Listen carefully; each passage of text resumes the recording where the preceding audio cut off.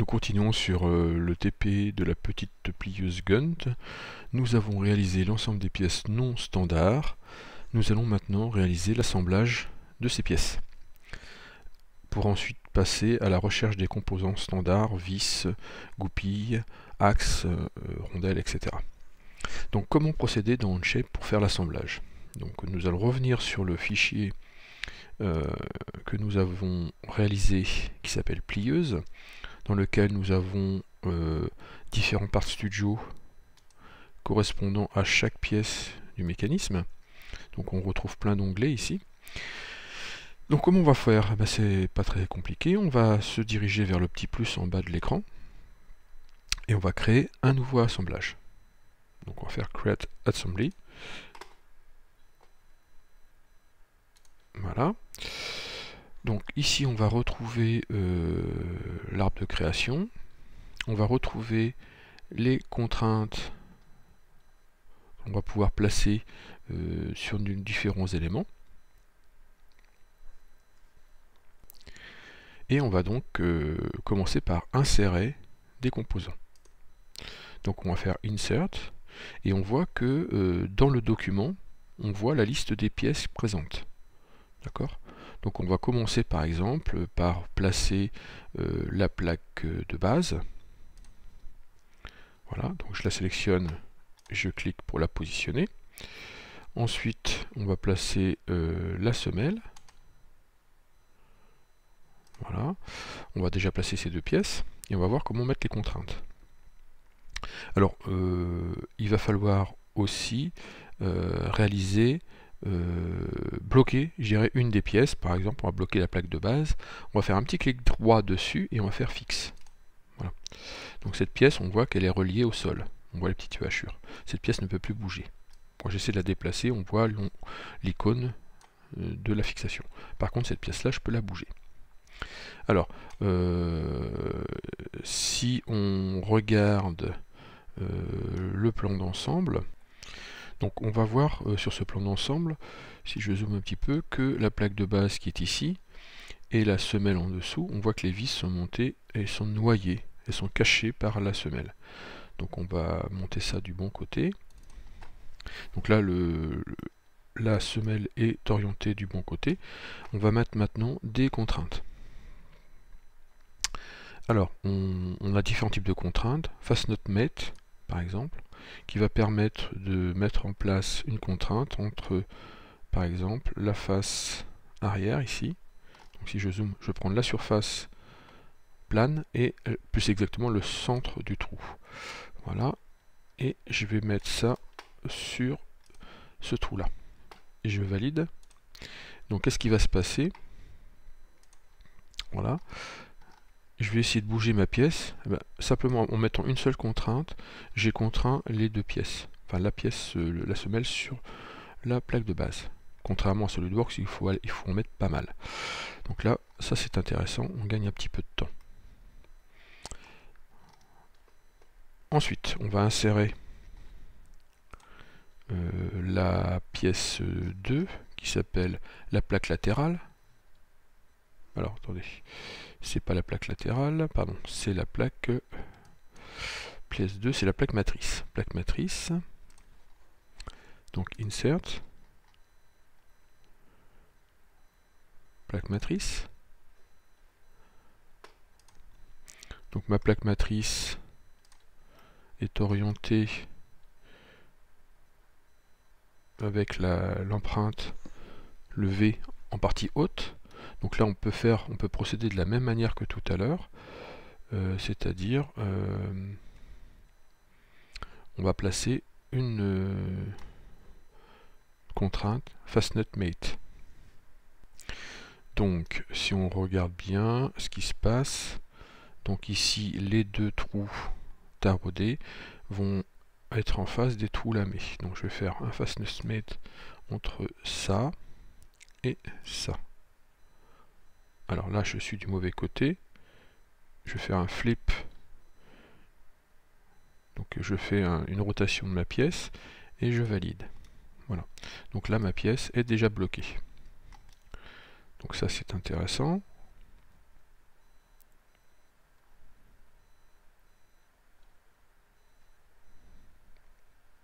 On continue. Donc on va regarder un petit peu comment est fait le plan. Euh, ensuite, on va pouvoir placer les pièces 3, c'est-à-dire les plaques latérales. Donc les plaques latérales, on va les chercher. Plaque latérale. Je vais prendre les deux plaques. Voilà. De la même manière, on voit que les trous lamés sont orientés dans ce sens. Donc je vais placer un fastener mate entre ceci et ceci. Voilà.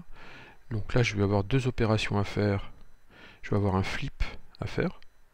Et ensuite, je vais avoir une orientation de l'axe. Voilà. Donc là, j'ai tourné ma pièce pour l'orienter correctement. Je fais la même chose pour la deuxième pièce. Donc là, je vais prendre une mate entre ceci et ceci. Je vais à, nouveau devoir faire un flip. Voilà, et je vais faire une rotation. Si c'est nécessaire, on appuie plusieurs fois pour faire tourner de 90 degrés.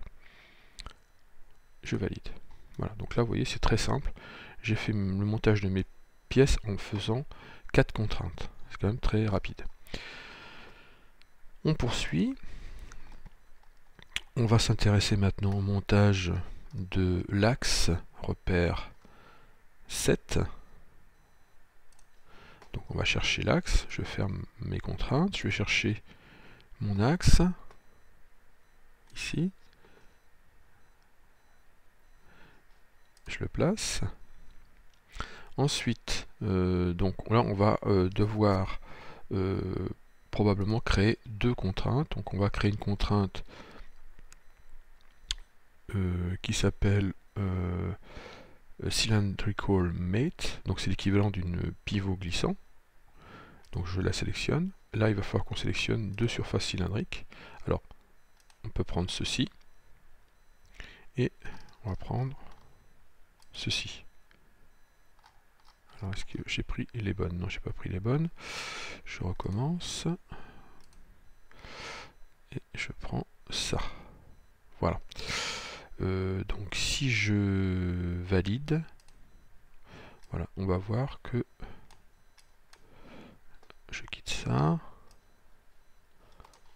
Alors là, j'ai un petit souci. Je ne l'ai pas bien fait. Je vais faire un delete. Donc bon, a priori, le, voilà, la, cylindricole fonctionne bien. Donc ce qui va manquer, évidemment, ici, ça va être une cote, enfin une contrainte qui va permettre de bloquer l'axe en translation. Donc euh, ça, on peut éventuellement la rajouter lorsqu'on mettra en place les contraintes euh, avec le, les rondelles et les goupilles.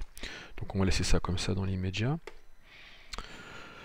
Ensuite, on va ajouter euh, les bagues. Bague repère 8. Donc insert, bague. Et donc on a deux bagues. Donc on va à nouveau faire. On va, alors ce qu'on va pouvoir faire, c'est on va déplacer l'axe ici et on va mettre des cylindrical mates directement euh, au niveau des bagues des fast mate pardon, entre ceci et ceci. Alors on va faire juste un flip, voilà. Et on va faire la même chose pour la deuxième. Donc je vais pivoter mon modèle. Je vais prendre ceci.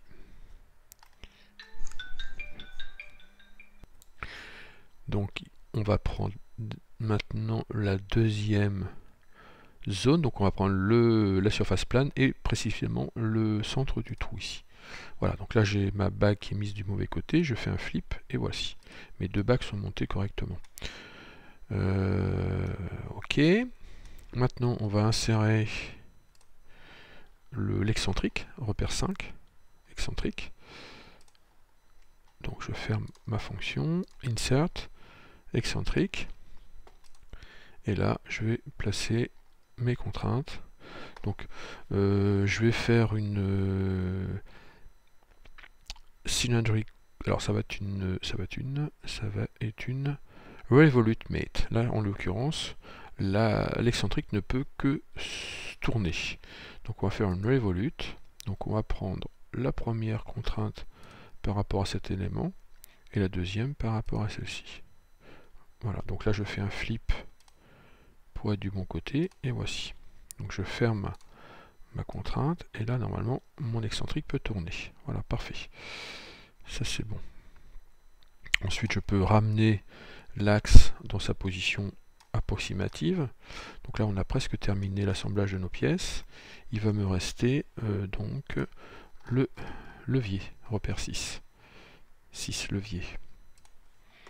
Donc insert, je vais chercher mon levier.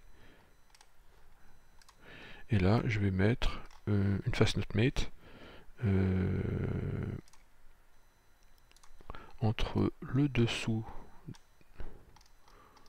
de mon levier qui est là et le dessus et précisément le centre du taraudage. Donc là, j'ai pas besoin de faire de flip, c'est bon, mais je vais simplement faire une rotation de, mes de ma pièce et je vais valider. Voilà. Donc mon assemblage est terminé. L'assemblage de mes pièces, non, ah, j'ai dû faire deux. J'ai dû mettre deux leviers. Donc là, attention, il ne faut pas faire de delete. Un delete, c'est pas suffisant. On va faire un suppress. Hein, ok, voilà.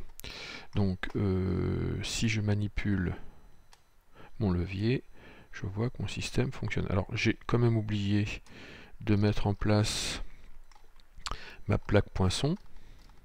Alors, pour la plaque poinçon, on va avoir un petit souci. Plaque poinçon. Je vais la mettre quand même. Parce qu'en fin de compte, la plaque poinçon, elle est guidée par des goupilles. Mais bon, c'est pas très grave. On va pouvoir quand même euh, imaginer que ces goupilles existent. Et on va placer, en l'occurrence, euh, là, ce sera une liaison glissière. Donc, on va faire une slider mate entre ceci et ceci. Voilà. Euh, là, je suis bien placé du bon côté, c'est parfait. Donc là, en mettant une seule contrainte, vous voyez, j'ai réussi à faire ma glissière. Alors, pour terminer complètement ici, on va pouvoir compléter par une contrainte une contrainte tangente mate entre la surface cylindrique qui est là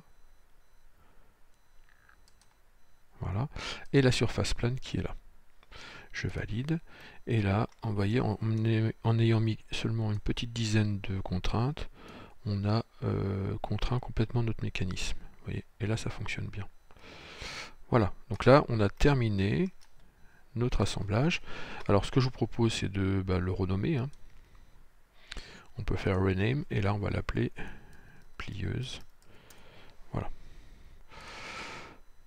Voilà, c'est terminé pour euh, cette première partie d'assemblage. Maintenant, le prochain TP, euh, ce sera donc la recherche des composants standards sur des bibliothèques en ligne pour pouvoir les insérer dans notre assemblage. Voilà.